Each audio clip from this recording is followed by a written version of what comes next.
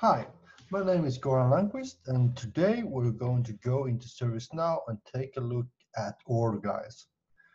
I guess most of you who have been working with order guides knows that you could have a little bit more of loving from ServiceNow. And today we're going to take a look at the problem we have with order guides and the request and requested items. For example, let's say you want to create an SLA for an order guide from the minute it starts does it end. Not for the specific item, but the request itself. And if we look at the request, we can see that this request comes from the out-of-the-box new hire order guide. There's not a field on the form or actually on the table itself that shows that this comes from order guide new hire. Strangely, if you click on a requested item, you can see that if you slow down, you have an order guide field saying that this requested item belongs to new hire. But if you go and want to create an SLA, it will be tough because since you go for a table request,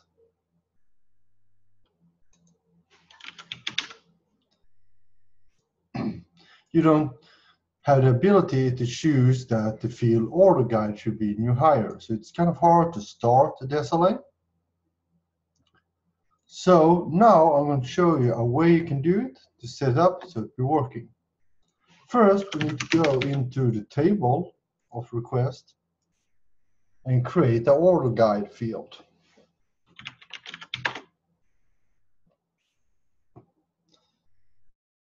So we'll scroll down and we'll add a field called order guide.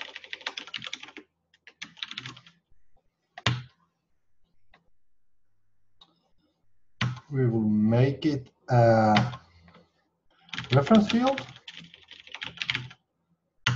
to the table order guides.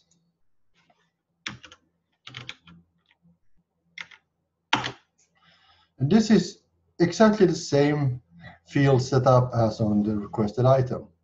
So we'll save it. And now, if we go to request, we at least got the field. There's no information in it, but at least we have the field. So one way to do it is go to the workflow and we all know we have the default workflow for requests, the service catalog request workflow.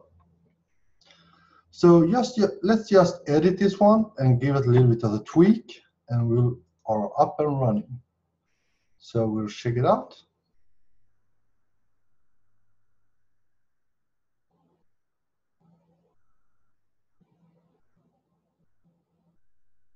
Then what we'll do, we'll add a script. And we'll call this connect order guide. So basically what we want to do is we want to go into this request, requested item, and see if they are connected to an order guide. And if they are, we'll take that value and put it in this table as well. So let's start to get the requested items. New record.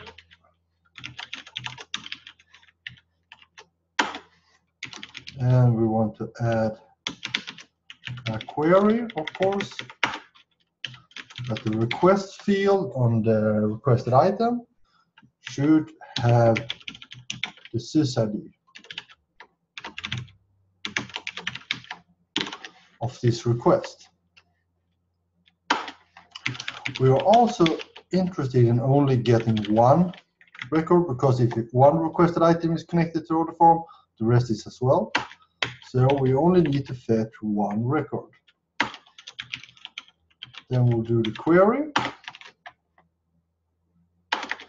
And let's see if we get anything. If there are any records, and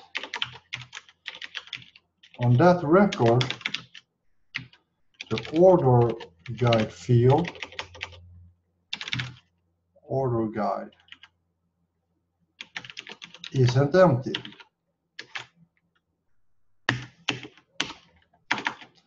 So this line checks did our query have any records and the record it will get since it's only one make sure that the order guide field on that record isn't empty. Because if this we don't want to do anything. And since this, we go and take the current record which is the request and the field we just created called to show you the U underlined order guide. So we want to take that field and populate it with the same value. I'd like to get the value from order guide. and just remember, you don't need a current update here because the workflow activity will take care of that itself. So this is pretty much the only code you will be needing. So let's submit it. And let's put it between the set values and if. So drag it like this. There we go. And let's try it. So we'll go into the service catalog. We find a new hire.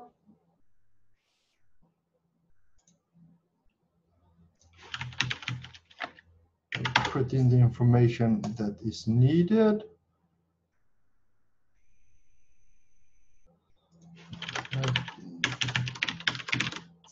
Like that, and we'll check out. And I have the two steps. I have to press checkout again. and the request has been submitted. If I press the request, we can now see that the order guide has been filled with new hire. Looking at the workflow, you can see how nice it's gone. And since I ordered a standard laptop, it needs to have an approval, of course. Now I can go to the SLA